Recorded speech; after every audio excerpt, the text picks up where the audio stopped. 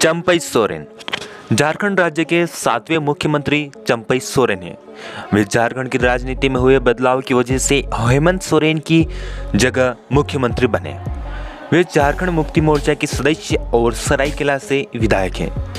हेमंत सरकार में चंपई सोरेन परिवहन, अनुसूचित जनजाति और अनुसूचित जाति और पिछड़ा वर्ग कल्याण के कैबिनेट मंत्री के रूप में कार्यरत रहे।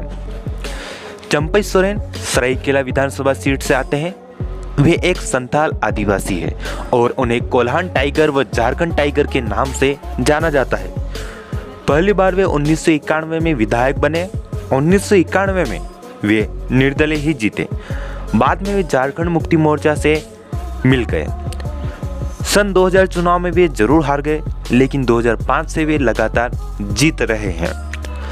झारखंड राज्य बनाने की लड़ाई में वे और शिबू सोरेन एक साथ मिलकर डटे रहे। वैसे चंपाई सोरेन, दसवीं पास है, पर उनके पास बेहद तजुर्बा है। उन्होंने एक मज़बूत छवि बनाई। वे छह बार विधायक रह चुके हैं और एक मज़बूत नेता के तौर पर पहचाने जाते हैं। कोरोना के दौरान उन्होंने जनता के बीच काम किया। झारखंड के लोगों को अन्य राज्यों से वापस लाया गया।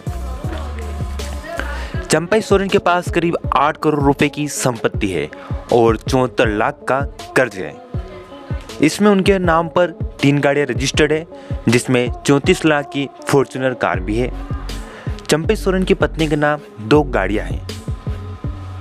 इनके पास उनचालीस लाख बावन हज़ार की ज़मीन है। चंपे सोरेन के पास करीब ढाई लाख